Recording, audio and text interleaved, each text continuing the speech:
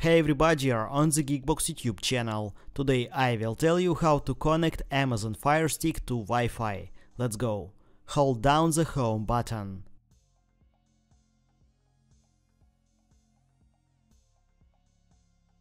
Settings.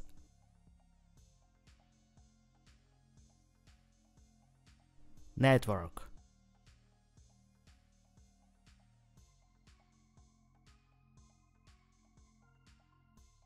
See all networks.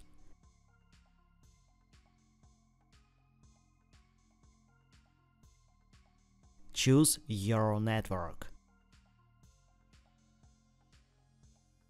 And the password. That's it. Now you know how to connect Amazon Fire Stick to Wi-Fi. Thanks for watching, please like and subscribe to the channel. Good luck and see you soon.